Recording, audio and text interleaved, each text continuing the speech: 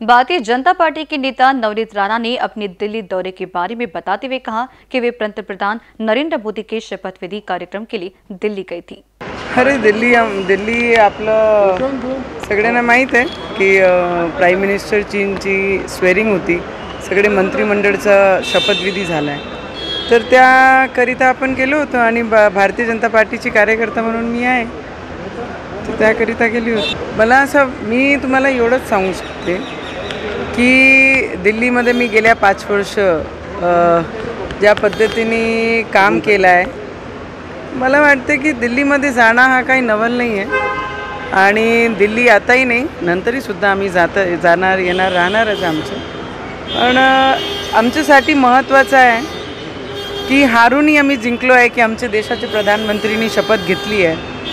मी आम्ही मी जरी हारली पण आम्ही आणि आमची भावना तिथे जेव्हा मोदीजी शपथ घेत होते ते आम्ही जिंकलोच आहे हार्ट से जुड़ी किसी भी समस्या के लिए आए Mugdha EECB and heart care centre जहाँ होता है 70 प्रतिशत ऐसी सौ प्रतिशत heart blockages treatment without surgery no side effect with advanced soundless PSK machine Mugdha EECP and Heart Care Center behind Mount Carmel School, Ajni Square, Nagpur.